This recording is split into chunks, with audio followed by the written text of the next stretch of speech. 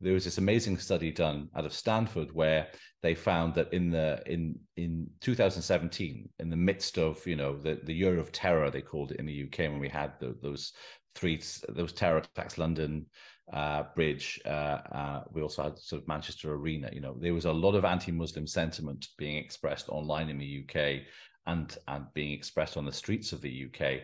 Um, we were measuring that in our lab. Actually, it was like a really bad year for anti-Muslim hatred. But when Mo Salah signed up to Liverpool Football Club that year,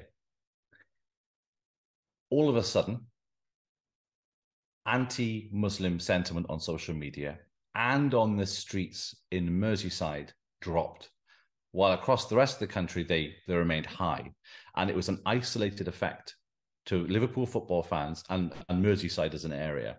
And what the study found was that because Mo Salah was performing so incredibly well, he, I think he won the Golden Boot and he, he got loads of accolades that year. He was a top goal, uh, goal um, top goal scoring player.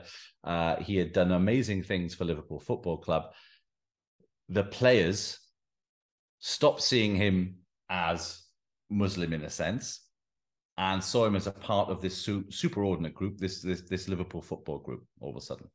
But what was really fascinating was that they began to look upon Islam as a positive thing. In fact, they began to chant around the stands of Anfield praise for Islam. And there are even YouTube videos of, of Liverpool football fans uh, uh, singing these chants in pubs in Merseyside. And it was an amazing phenomenon. But what it proved, I think, was that you know, you can overcome pre-existing prejudices by promoting very positive stereotypes um, of folks that are usually subject to very negative stereotypes. But the problem with this solution is we can't expect our football f- players, our rugby players, our sports stars to to take to take this problem on as their own and to change minds. We have to rely on other other mechanisms also you know it's education it's the state it's it's it's our communities and us as well.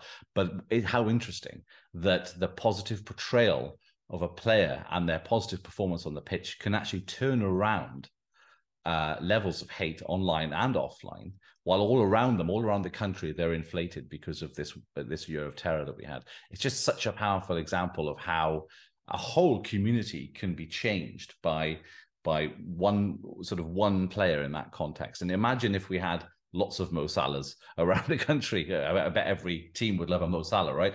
Um, but ultimately, you know, it's it's just such a such a powerful example of how something like sport can can change minds for the better.